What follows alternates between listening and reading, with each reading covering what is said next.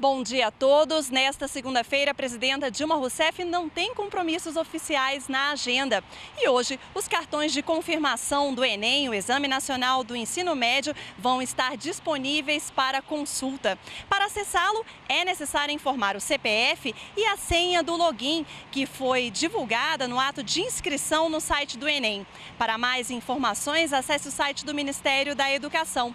O acesso vai ser individual e a partir de hoje também, de acordo com o Ministério da Educação, esses mesmos cartões de confirmação do Enem serão enviados pelos Correios nos endereços indicados no ato de inscrição.